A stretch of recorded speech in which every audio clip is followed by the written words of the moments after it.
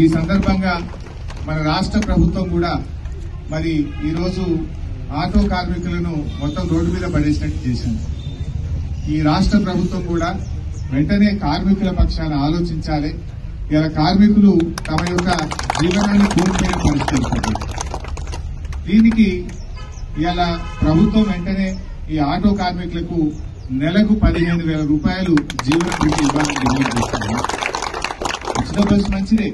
దాని ఎవరు కాదంటలేదు ఇంకా బస్సులు పెంచండి. ఇంకా మారుమూల ప్రాంతాల్లో చాలా ఊర్లకు బస్సులు పోతలేవు. అక్కడ కూడా బస్సులు వేయండి. కానీ మరి కార్మికులు దాదాపు ఆరు లక్షల మంది ఆటో కార్మికులు ఈ రాష్ట్రంలో ఉన్నారు. మొన్న మధ్యనే హైదరాబాద్లో ఒక ఆటో కార్మికుడు ఆత్మహత్య చేసుకున్నాడు.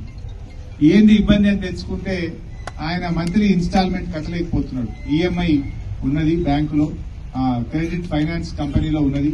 ఆ ఈఎంఐ కట్టలేక అప్పుల బాధ తట్టుకోలేక ఒక రైతు ఒక ఆటో కార్మికుడు ఆత్మహత్య చేసుకున్న పరిస్థితి ఉంది. మరి ప్రభుత్వం ఒక మంచి పని చేస్తూ ఇంకొకరి ఉసురు పోసుకోవద్దు కదా? మరి వీళ్ళని కూడా కాపాడుకోవాల్సిన బాధ్యత ఉంది. ఇలా రాష్ట్ర వ్యాప్తంగా అప్పులు తెచ్చి రెక్కాడితే డొక్కాడని వాళ్ళు. భూములు అమ్ముకోనో ఫైనాన్స్ కంపెనీలో అప్పులు తెచ్చుకోనో బయట వడ్డీ వ్యాపారుల దగ్గర అప్పులు తెచ్చుకోనో బ్యాంకులలో అప్పులు తెచ్చుకొని ఆటోలు కొనుక్కొని తమ కాళ్ళ మీద తాము నిలబడే విధంగా వాళ్ళు ప్రయత్నం చేస్తా ఉన్నారు. మరి అటువంటి కార్మికులను కూడా కాపాడే బాధ్యత ప్రభుత్వం మీద ఉంది. ప్రభుత్వం వెంటనే ముందుకు వచ్చి ఈ ఆటో కార్మికులందరికీ కూడా నెలకు పదిహేను వేల రూపాయల జీవన భృతి ఇవ్వాలని తప్పకుండా రాబోయే రోజుల్లో అసెంబ్లీలో కూడా మీ యొక్క సమస్యను ప్రస్తావిస్తాం. అసెంబ్లీలో కూడా ప్రభుత్వం మీద ఒత్తిడి పెంచుతాం. ఆటో కార్మికులకు న్యాయం జరిగేదాకా కూడా మేము మీ వెన్నంటి ఉంటామని చెప్పి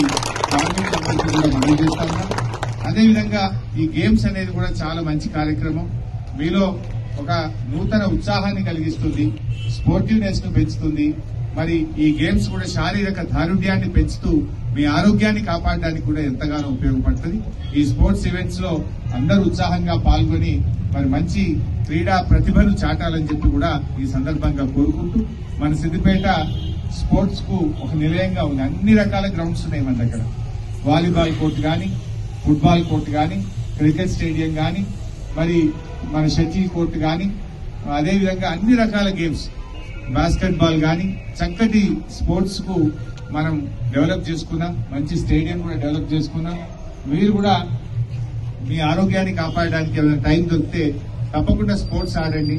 లేదు ఉదయం పూటనో సాయంత్రమో ఎప్పుడు టైం దొరికితే అప్పుడు కొంచెం వాకింగ్ చేసి ఫిట్నెస్ ఇంప్రూవ్ చేసుకొని మీ ఆరోగ్యాన్ని కాపాడుకోవడం కోసం కూడా మీరు తప్పకుండా కొంత సమయాన్ని కేటాయించాలని చెప్పి కోరుకుంటూ మీ అందరికీ అభినందనలు. జై తెలంగాణ.